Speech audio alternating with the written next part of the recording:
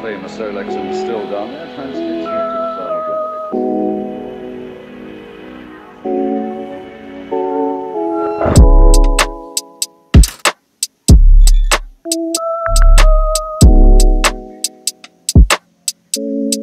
Thank